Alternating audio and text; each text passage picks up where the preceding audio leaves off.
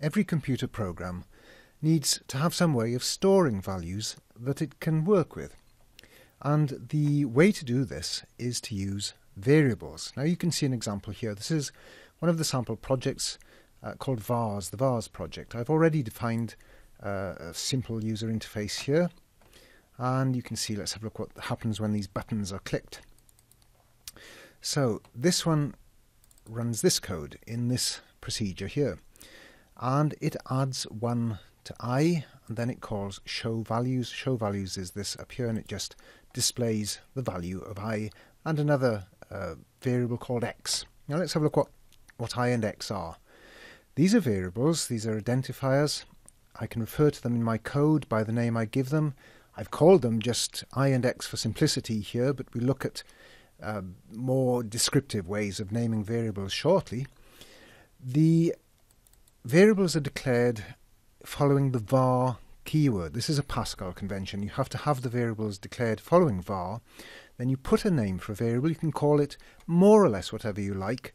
I've explained the actual restrictions on names uh, in the course text in the book that you can download.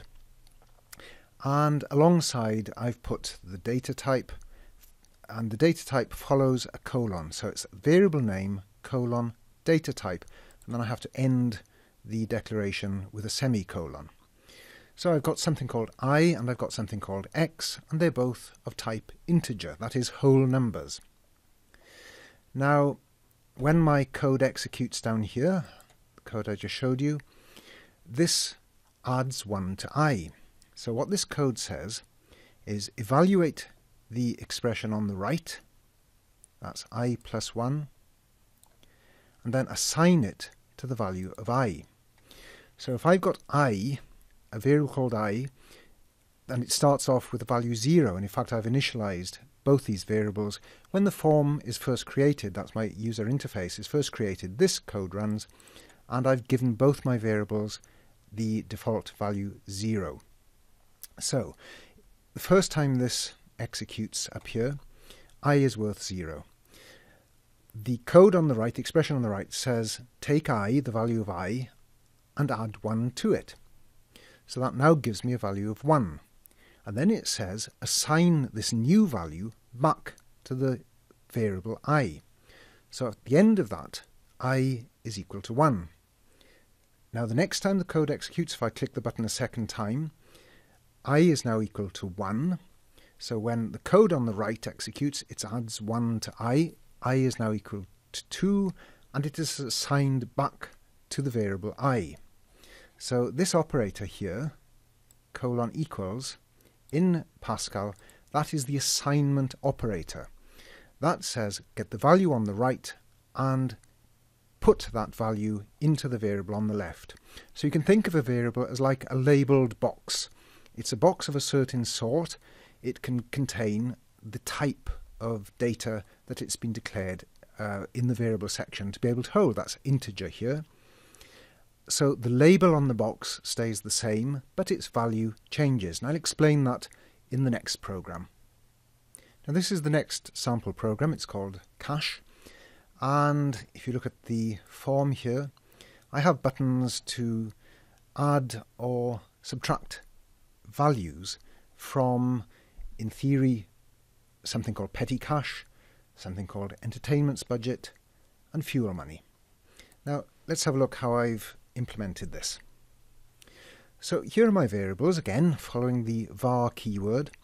This time, this is an optional way of declaring variables of the same type in Pascal. I've put commas between a list of variables, then a colon, then the type. So that means all these four variables are of the integer type, then a semicolon. Now because I've declared the variables up here at the top of this code unit, they are visible down in the procedures that follow it. That's called the, the scope, the, the visibility of, of variables is referred to as the variable scope, and I'll explain that later in this course. But for now, just bear in mind that all the procedures down here have access to the variables I've declared up here. Now, in this case, I've given the variables more meaningful names. it's not really a very good idea in a more complex program to have variables with short names, as I used before, i and x in the previous program. I want to see immediately what these variables, what the values that they hold, represent. And so I've given them some names that I can understand petty cash, entertainments budget, fuel money, and wallet. So, in theory, what this program does is it maintains a sort of a simple um, cash database of the money that I have available. I say that the money that I have to spend is in wallet, and the other uh, variables hold money that is in principle in petty cash, my entertainments budget, or my fuel money. And again, that gets back to the idea of having variables as labelled containers. The labels stay the same, but the values, just like a labelled box, the values change as you put uh, money into or out of the box, or in this case, integers are added or subtracted from the variables. Now I've got a memo, a simple uh, text box in the main part of the form up here. And when cash is put in or out of these uh, theoretical boxes, my variables, I just convert the integer to a string because remember I can only display a string, that's text, in a memo, so I have to use this int to str function which is pre-declared for me uh, in, in the Pascal library to convert the integers into a displayable form as a string. So let's see what happens. When form is created, I assign default values.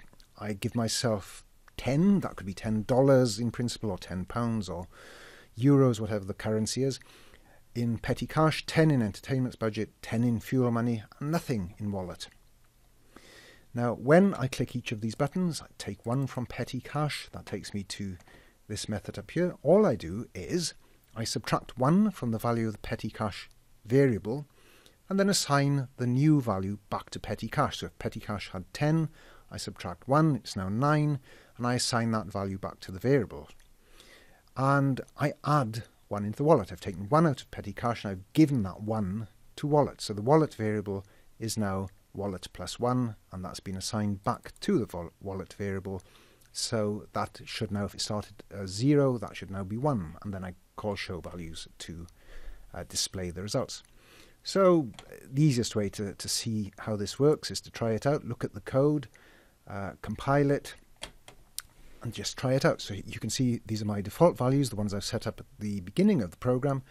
When I subtract 1 from petty cash, the values are updated. Petty cash, the variable is now uh, has a value of 9.